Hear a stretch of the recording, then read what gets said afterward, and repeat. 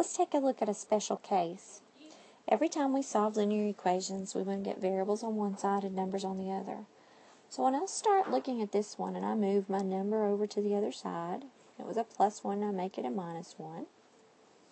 I end up with 2x equals 2x minus 4. Now when I bring this other variable over, and I subtract my 2x from both sides, I end up with 0 on the left and minus 4 on the right.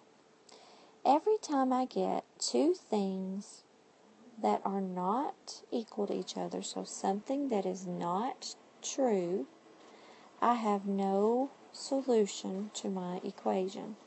So the actual answer to this equation is no solution.